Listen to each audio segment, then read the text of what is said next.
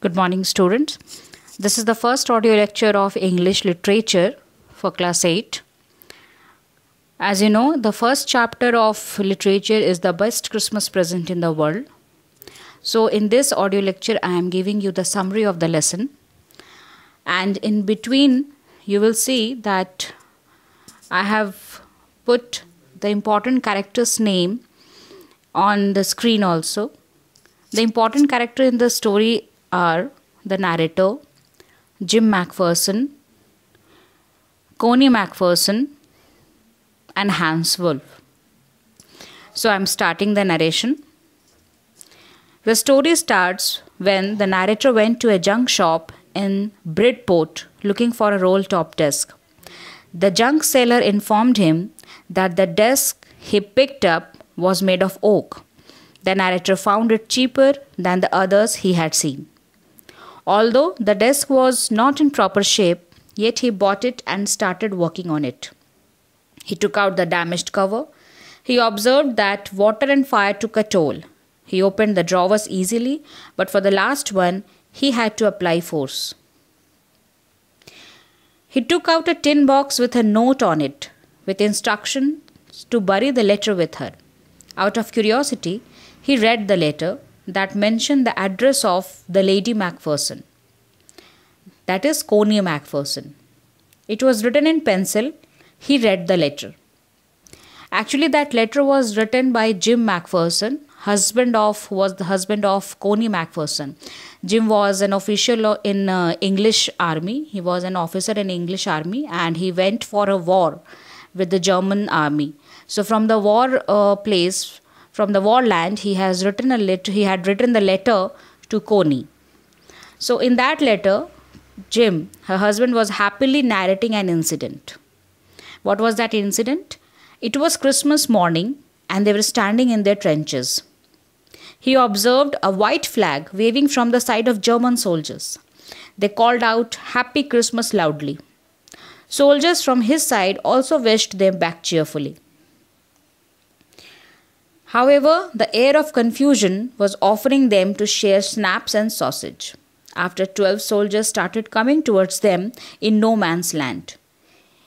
No man's land means the space between the borders of uh, English army and the German soldiers. So initially the narrator was apprehensive yet he made no efforts to stop them. He was rather happy that they were celebrating happiness with his enemy soldiers. He further added that he liked the way the German officer came towards him and introduced him. He wished him happy Christmas and told him that he should play the cello in the orchestra. Here you don't get uh, confused. Actually, there was a soldier, there was an army officer in German uh, troop. His name was Hans Wolf. He has introduced himself to uh, Jim McPherson and he told that uh, he was a cello player in the orchestra before coming to the uh, war. And uh, Mr. McPherson also introduced himself to Hans Wolf and he told that he was a school teacher. Jim McPherson was a school teacher in uh, Dorset, a place in uh, England. So they've started their conversation and they shared rum and sausage. Hans Wolf, who was a German soldier, he was speaking perfect English. And uh, Jim was definitely very surprised to see that how he could be able to speak so fluent English.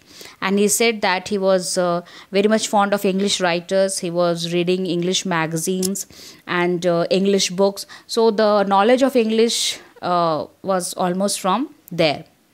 So in their discussion, they have discussed Bathsheba, Gabriel Oak, Sergeant Troy, and about Dorset so about his their families also in Hans Wolf family there are uh, his family includes his wife and one son. So the letter read as the narrator had the best time with the enemy celebrating. So next the fun element was a game of football. They made goal posts by putting uh, by putting uh, gray gray coats their coats. They have put the, their coats on the no man's land and they have made the goal post from them.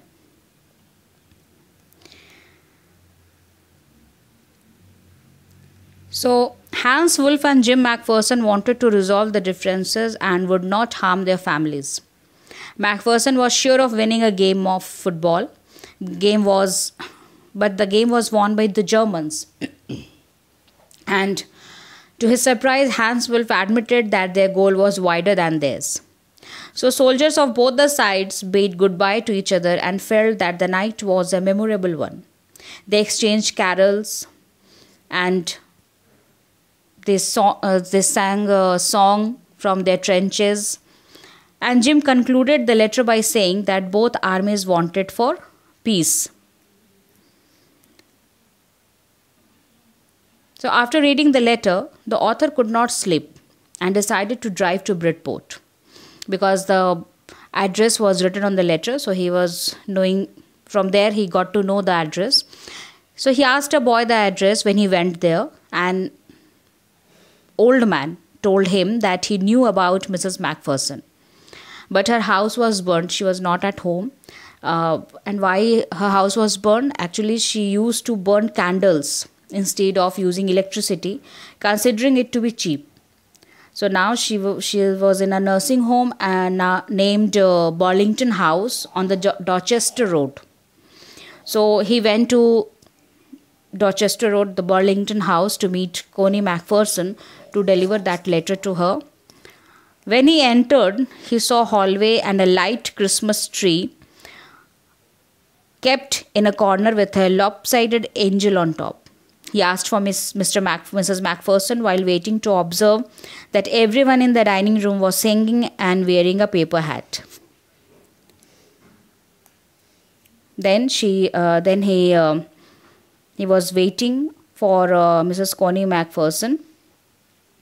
The matron, when he was waiting, the matron offered a mince pie and took him along the corridor and she told about Mrs. MacPherson that uh, she was not there with the others. She would be happy to have a visitor as she didn't have a family. So when he reached there, he saw an old lady sitting in a wheelchair. She folded hands in her lap. Her hair was folded in a wispy bun. The visitor wished her Merry Christmas, Connie, and gave her the tin box. In that tin box, the letter was kept.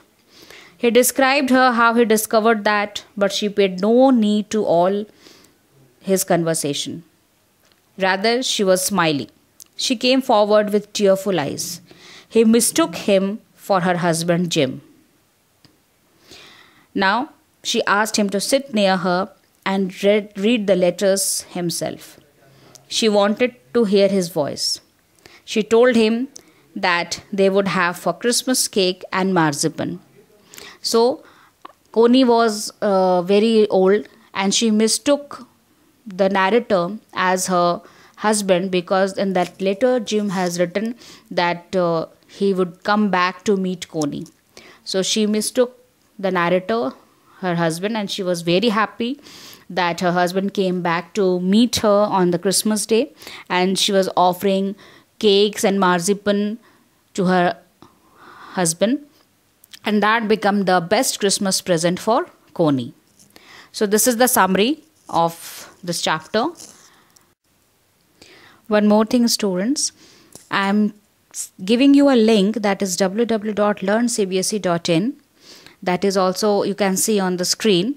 From there you can note down all the question answers and the word meanings of uh, the first chapter in your note copy okay? You'll have to make two copies for uh, english one for literature and one for grammar. So in the literature copy you will uh, note down the word meaning and the question answers of uh, the first chapter that is the best christmas present in the world. And the exercises you will do in your book with pencil if you have the book. If you don't have the fresh copies uh, make make it a rough work and later on you will fare it. Okay? Thank you